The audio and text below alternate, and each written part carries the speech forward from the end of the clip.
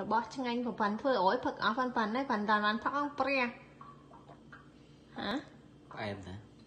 ចង់និយាយថាប្រព័ន្ធធ្វើប្រហែលម៉ោងហ្នឹងឯងអាហ្នឹងទឹកអីងោះ1ម៉ោងជាងណា1ម៉ោងជាង2ម៉ោងណាទឹកអីគេហ៎ទឹកអីទឹកស្វាយទឹកហឹមស្វាយទឹកទឹកមើមស្វាយនំស្វាយអឺហ្នឹងហើយចង់និយាយថាមួយកែវប្រព័ន្ធទឹកផឹកបានតិចប្តីផឹកអស់ពូផឹកមុនហើយអីផឹកបានតិចសោះហ្នឹងណា ចាប្តីផឹកដោយប៉ុនផឹកហ៎អឺហ្នឹងហើយផឹកដាក់មកទៅព្រោះមកអយវិញអាហ្នឹងវីតាមីនអឺមានវីតាមីនវីតាមីនចង់និយាយថារបស់ឆ្ងាញ់គឺញ៉ាំអត់ទាន់ប្តីទេ